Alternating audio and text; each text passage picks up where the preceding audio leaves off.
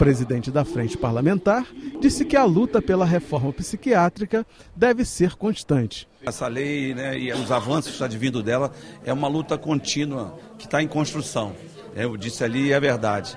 É, existe muitos entraves, principalmente por parte do poder público local, do município, onde deve fazer atenção básica, onde deve dar assistência aos pacientes que precisam do tratamento diferenciado né? CAPS, Lar Abrigado, as residência assistida, oficinas, é, atividades e ocupar e acompanhar o paciente que precisa.